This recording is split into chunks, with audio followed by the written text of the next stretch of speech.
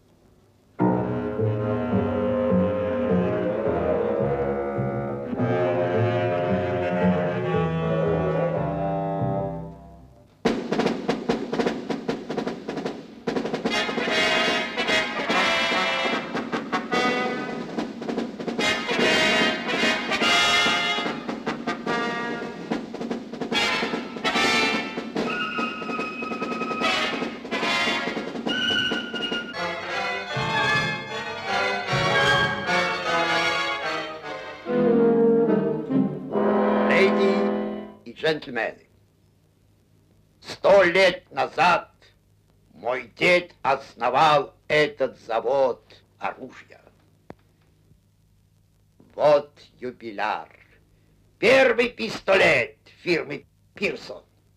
Друзья мои, ведь профессиональный союз всегда вместе с вами. Леди и джентльмены, гусиное перо уступило место Паркеру. Фургон автомобилю Форда. Холодильник General Motors заменил погреб. Все течет, все меняется. И этот почтенный юбиляр выглядит сегодня... Леди и джентльмены, деньги, и только деньги. Леди и джентльмены, Вот стоит Майкл Чейз.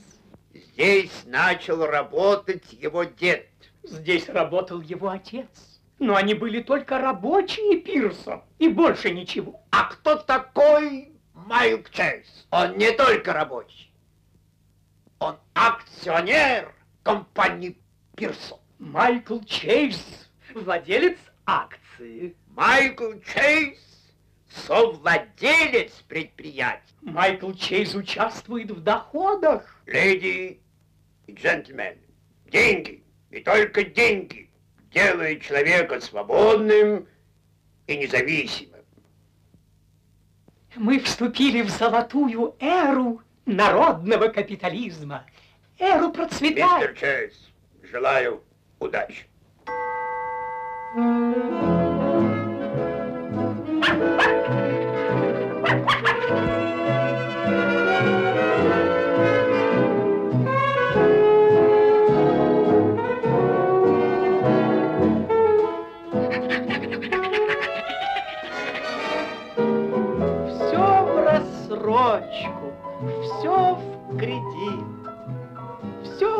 рассрочку, все в кредит.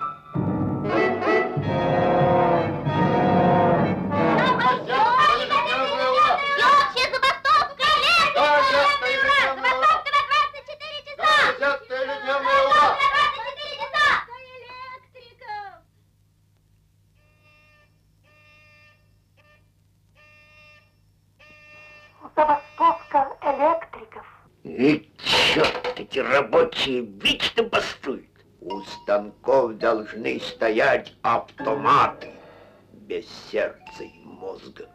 Очень тонко замечено, сэр. Каждый делает, что хочет. У нас полная свобода. Кроме того, для личных услуг рекомендую новую модель. УС. Универсальный секретарь, сэр.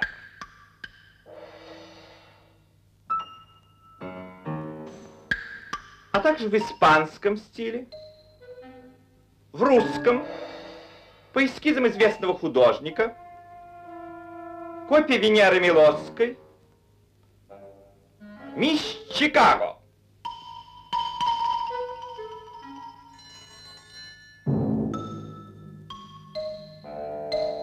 Скажите, а между ними ничего не может быть такого? Вы меня поняли? Исключено, сэр. Стерильные существа. Машины. Отсутствие мозга, сердца, души, совести, сэр. Без сердца и мозга, без души и желудка, без чувств и мыслей. Вот мой идеал рабочий. Человечество вступило в великую эпоху автоматизации. Уволено две тысячи рабочих. Среди них акционеры Майкл Чейз. Сколько акций? Одна На улицу!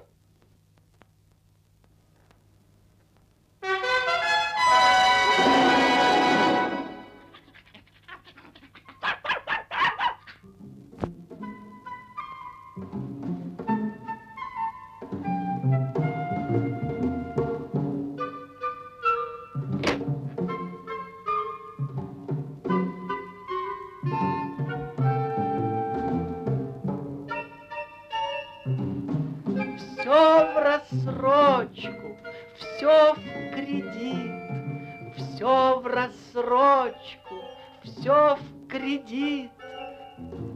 Мистер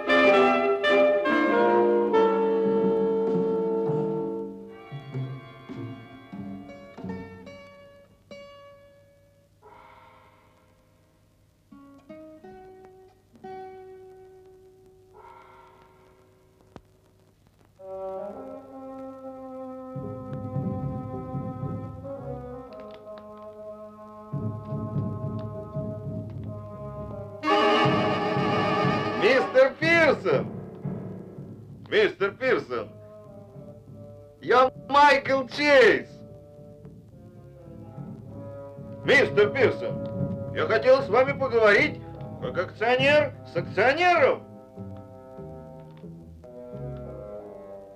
Мистер Чейз, Да, это я.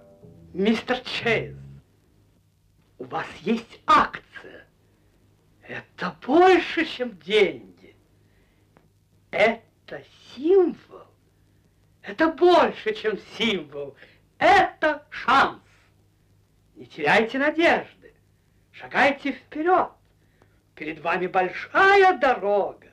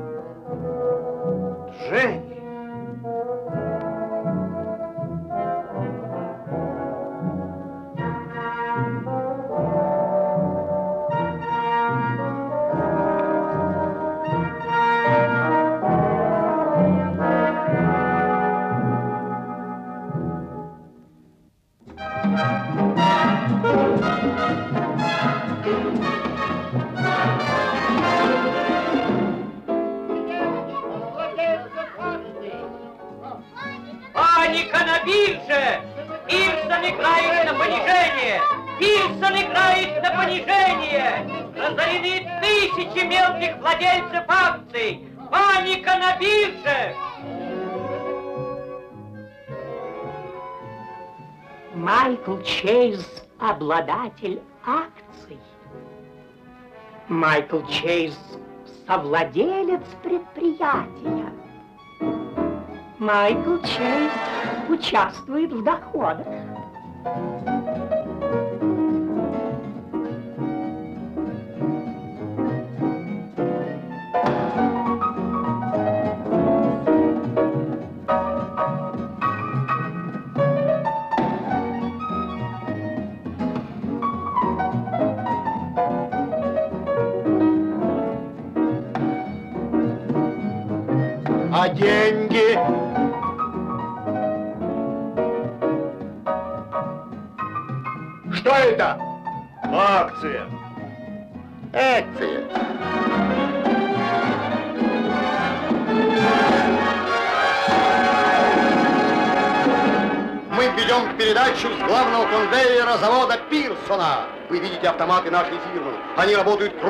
Сутки без перерыва. Им не нужна ни пища, ни семья, ни квартира.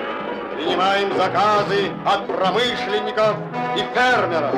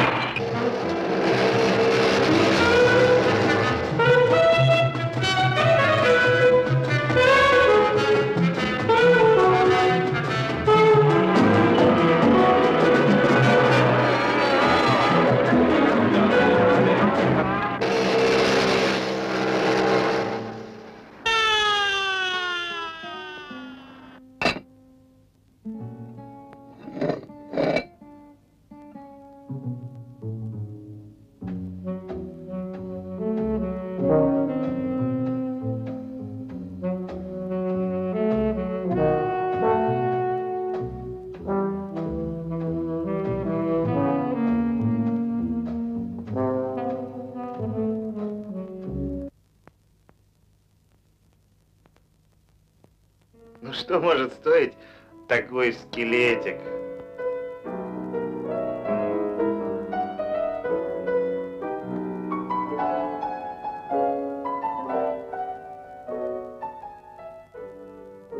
Так, так, так. Объем груди 6 тысяч. Хм, Рост 187.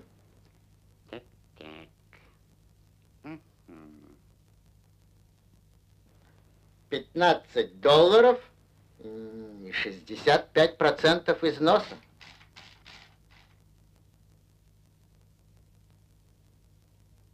Итого 4 доллара 25 центов. Какой износ? Мне 27 лет. В чем дело? Приносите завтра товар, получите разницу.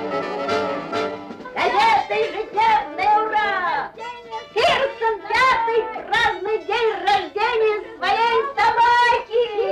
Торжество в доме ежедневное!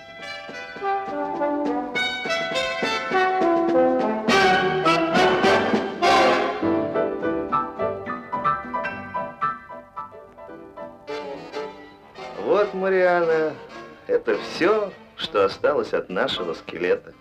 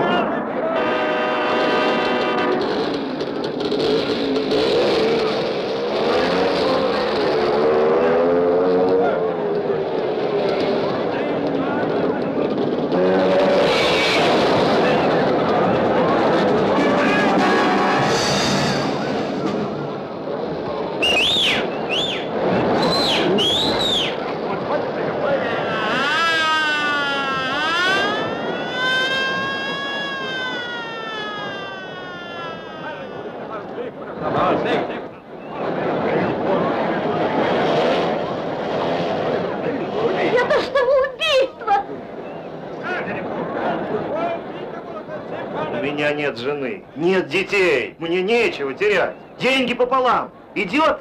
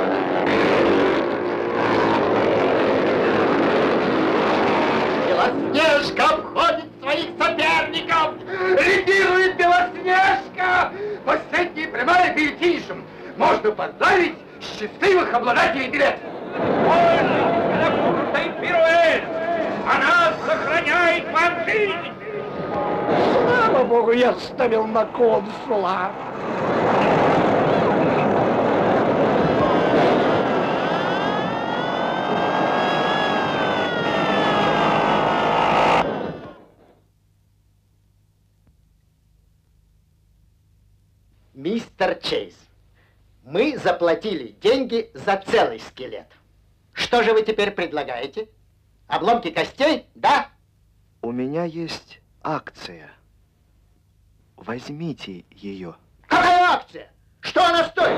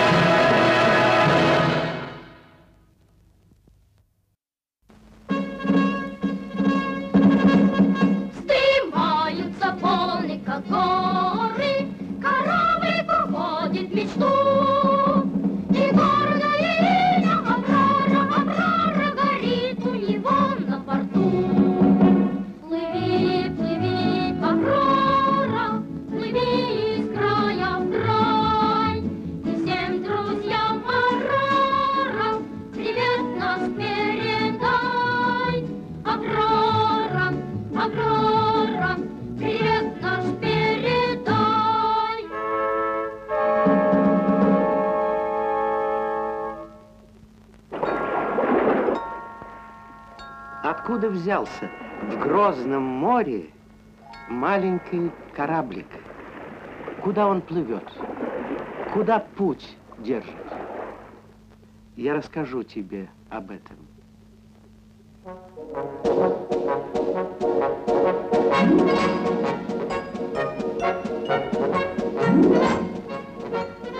Жили-были мальчишки, очень похожие на тебя и на твоих товарищей. Может, озорничали они поменьше? Да вот в чем разница могла еще быть. Если ты мечтаешь стать летчиком, то мальчишки мечтали о дальних плаваниях. Они любили море, любили матросов, корабли и больше всего больше всего Аврору. Легендарный Балтийский крейсер.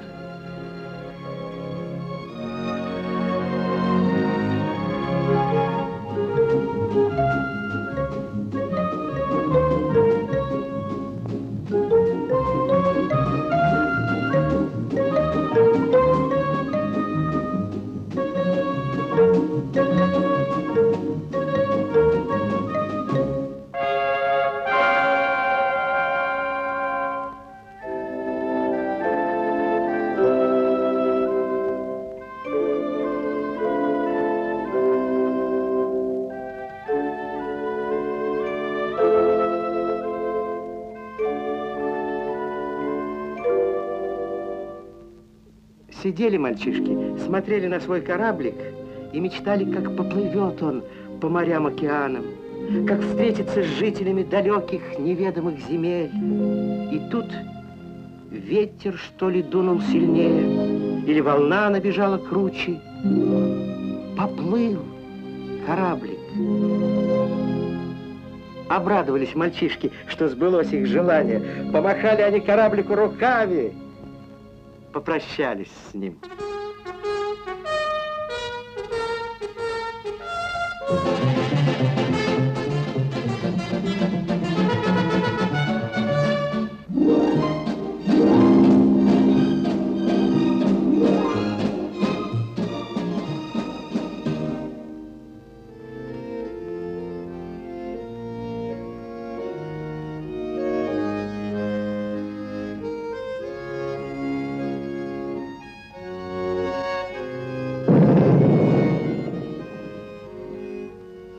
Трое матросов молча расставались с родными берегами. Они стояли на палубе твердо, широко расставив ноги и глядели вперед. А море катило волны, и казалось, нет в море ничего, кроме волн и кораблика.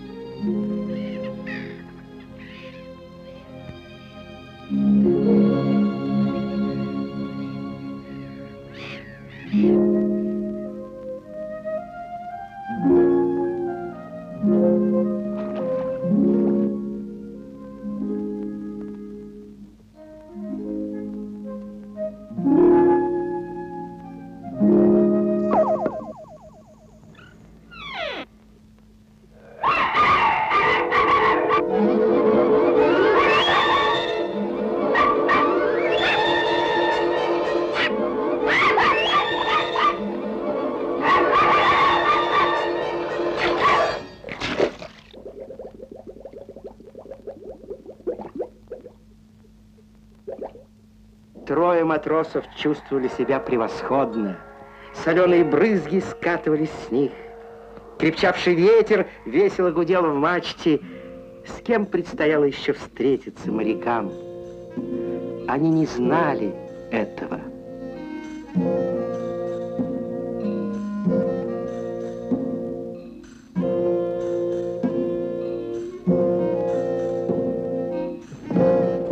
Ласточка прилетает к людям вестницей тепла.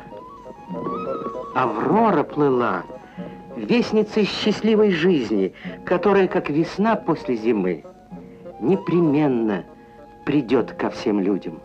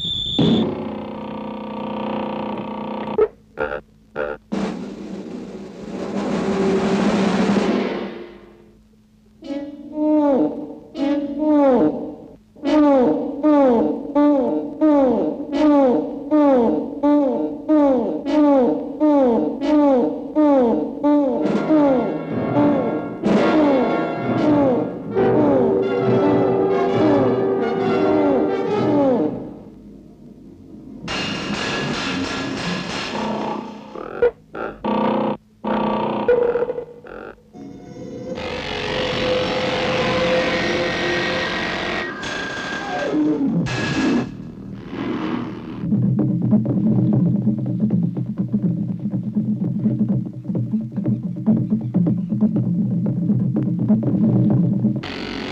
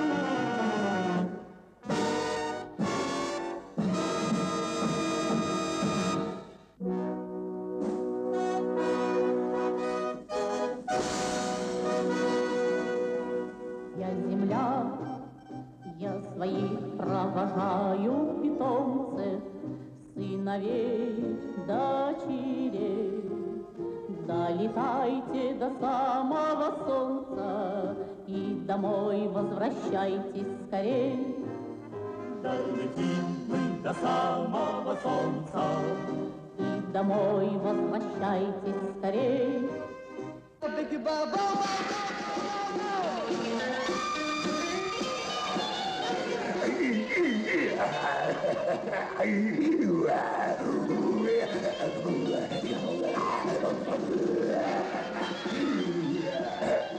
Стоп!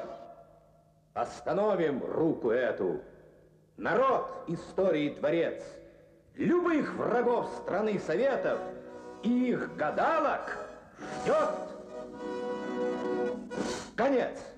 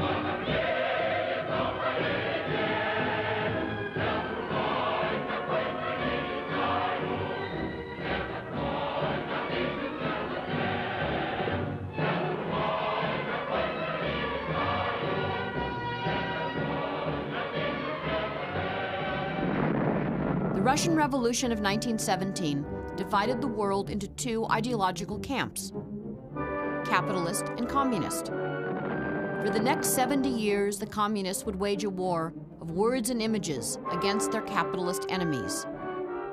The goal? To capture the hearts and minds of the Soviet masses with disinformation. To turn them against the enemy, who they said ruthlessly exploited the average citizen. To turn them toward the state, run by peasants and workers, which cared about their welfare and guaranteed them health, education, and a shining future. A minority party with approximately 200,000 members, the Bolsheviks in 1917 assumed the leadership of 160 million people, scattered across the world's largest continuous landmass. They spoke more than 100 languages and were, for the most part, illiterate. Masters of visual propaganda, after seizing power, the Bolsheviks produced tens of thousands of political posters.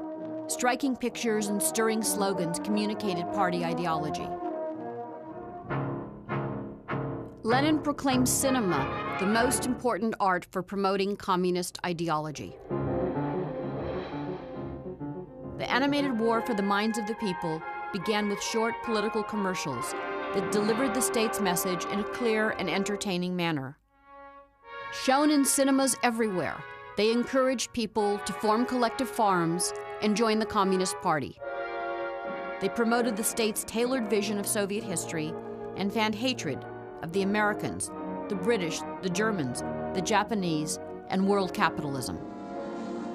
Throughout the 70 years of the Soviet Union, the propaganda machine referred to Western businessmen and government officials as capitalist sharks, exploiters of the working class, heartless, greedy worshippers of the dollar, arsonists of war, the ideological enemy of the Soviet Union bent on destroying the Great World Revolution.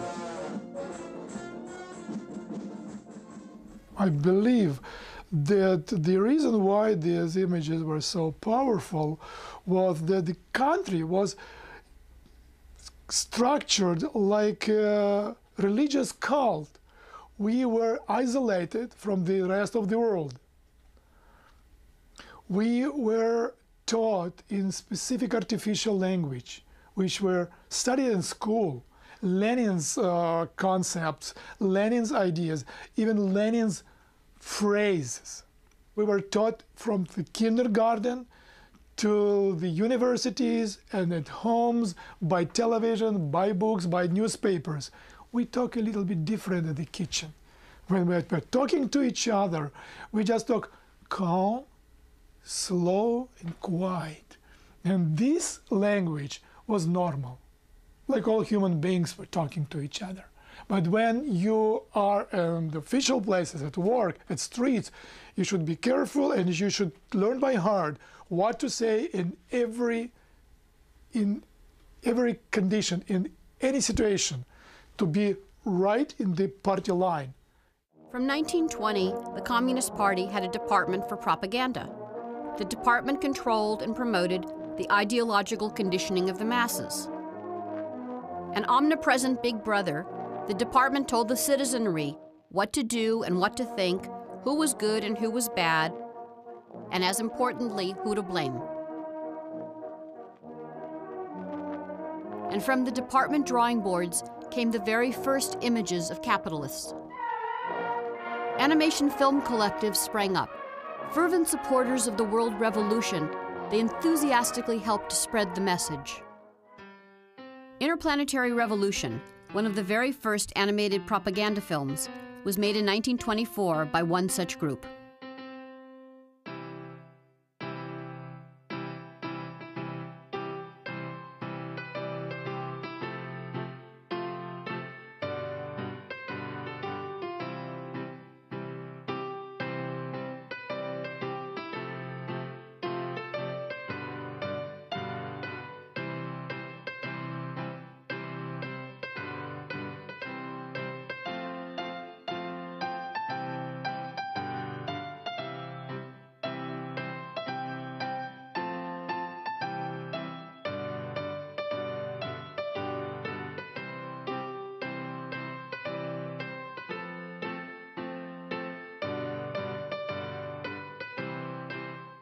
Bolsheviks travel by spaceship to Mars to organize a proletarian revolution.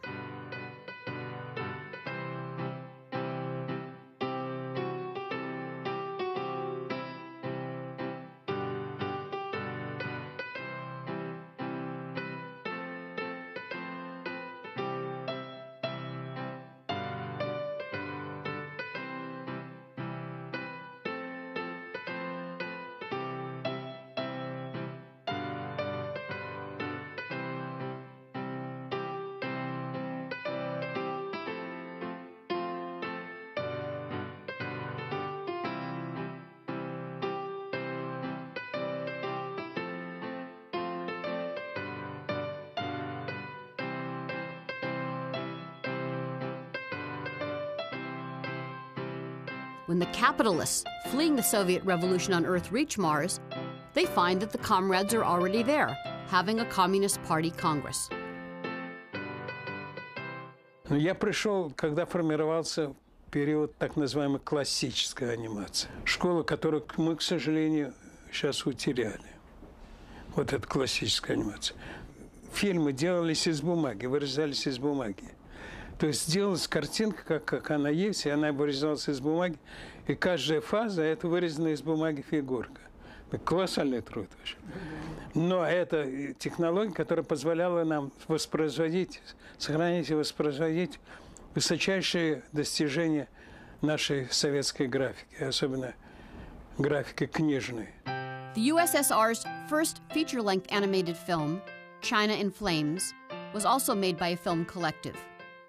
Each animator made a different section of the film, which was then edited together into a not very coherent story about the exploitation of the Chinese peasant nation by world capitalism.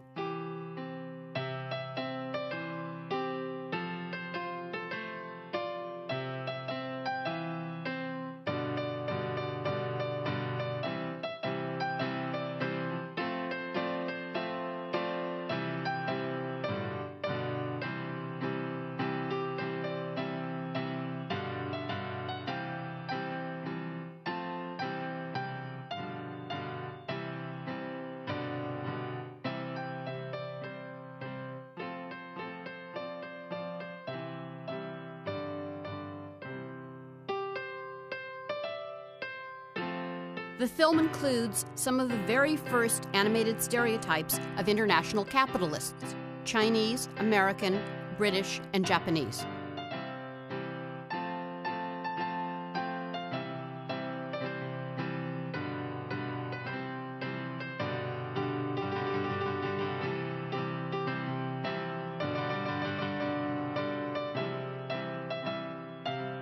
Animation historians believe that China in Flames was the first film to introduce Soviet audiences to a new tenet of Bolshevik ideology the obligation of the Soviet Communist Party to help the proletariat of other countries struggle against the bourgeoisie.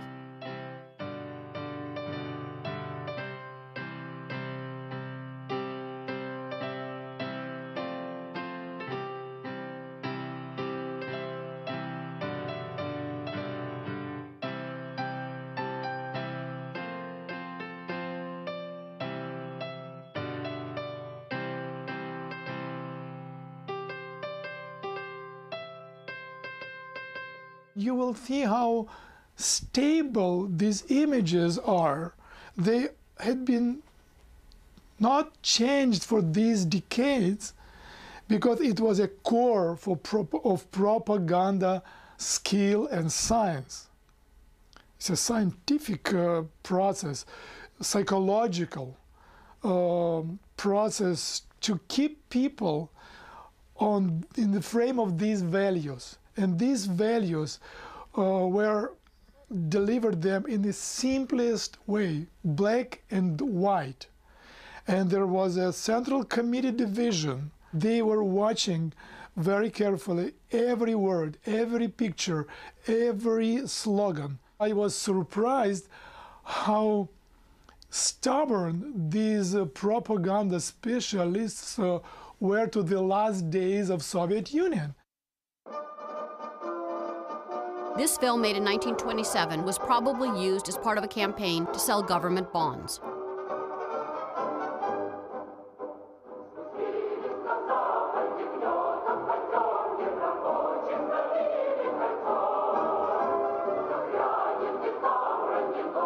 It is an attack on Lord George Curzon, Britain's Foreign Secretary. According to the film, Lord Curzon tried to prevent the new Soviet state from industrializing with a trade embargo.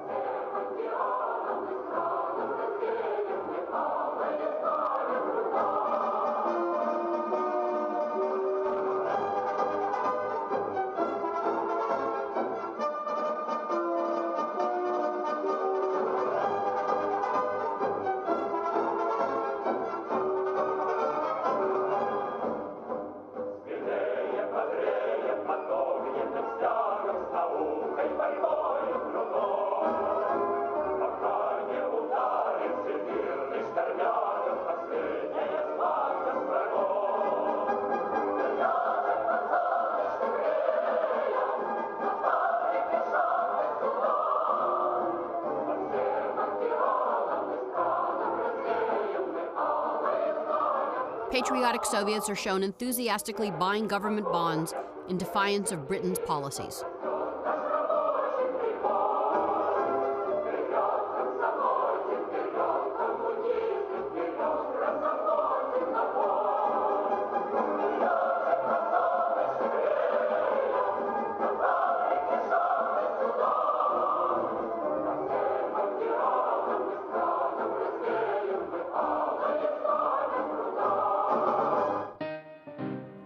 Most politically impassioned animators of the 20s was Yuri Merkulov, whose work on early black and white propaganda films became the benchmark for animated stereotypes of capitalists and warmongers. Forty years later, during the Cold War, Merkulov was still making animated propaganda films based on the images he created in the 20s.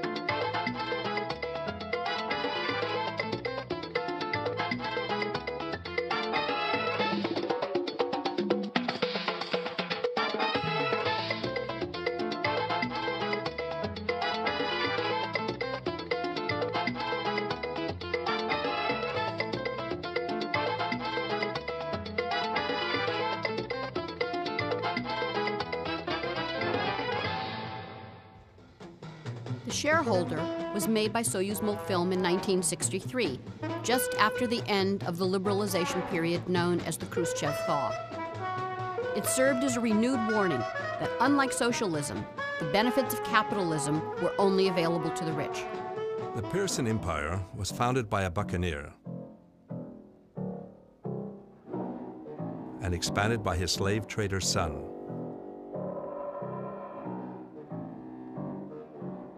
Third generation of Pearsons manufactured arms.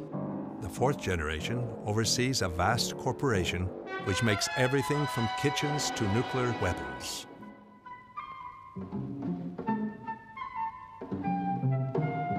Three generations of the Chase family has worked for the Pearsons.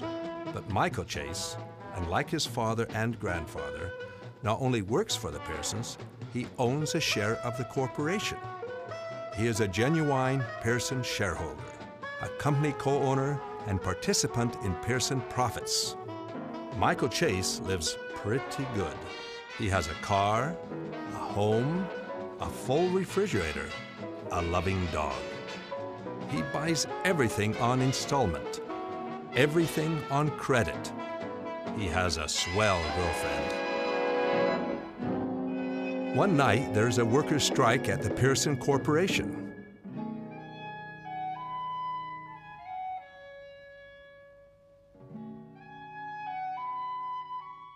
Pearson IV decides to replace all 2,000 workers with robots. With no job, how can Michael Chase exist? Everything he has was bought on installment, everything on credit. How can he keep his girl? He searches the country for work.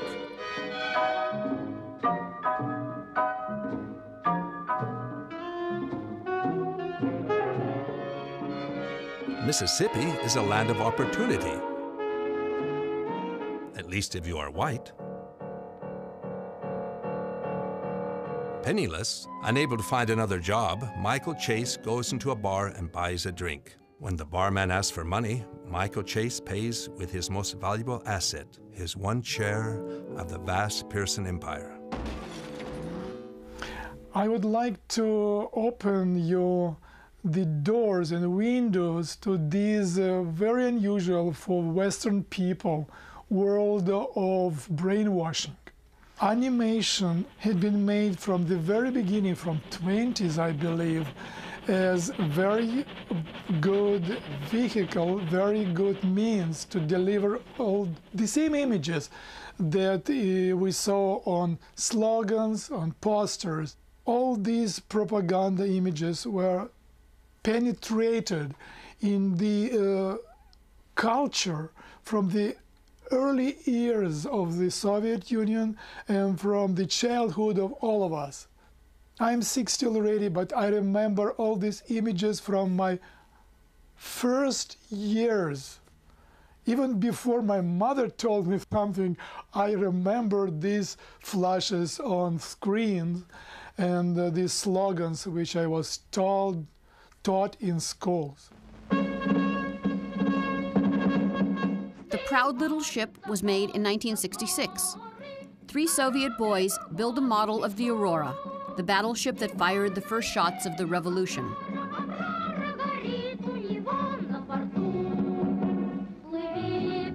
The ship sails around the world in the name of Soviet friendship, only to be pursued by evil capitalist sharks.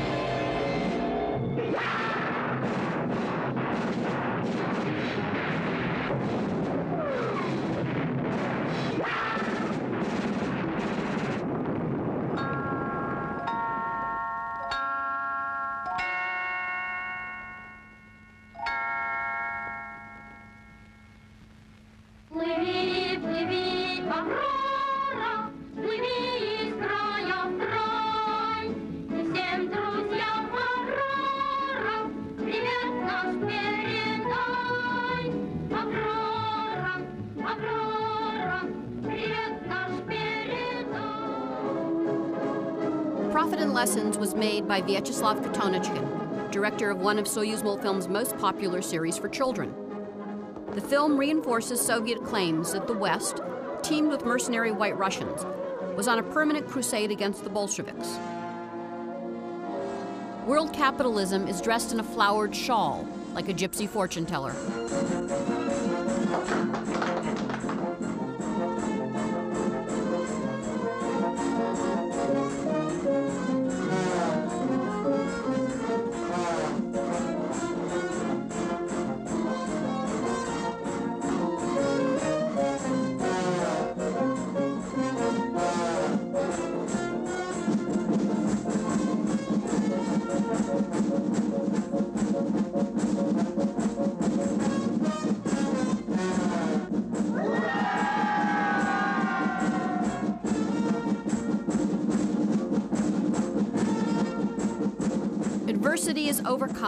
By the might of the state, symbolized in this film by the victorious Soviet worker.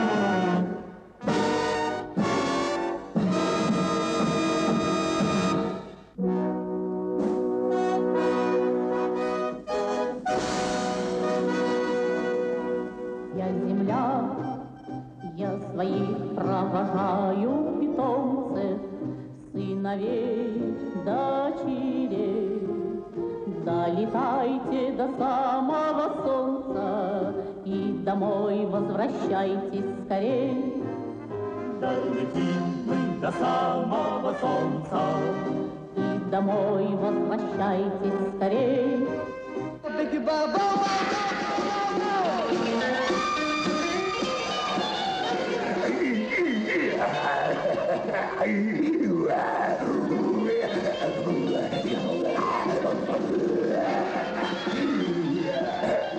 Стоп! Остановим руку эту. Народ истории дворец, Любых врагов страны Советов их гадалок ждет конец.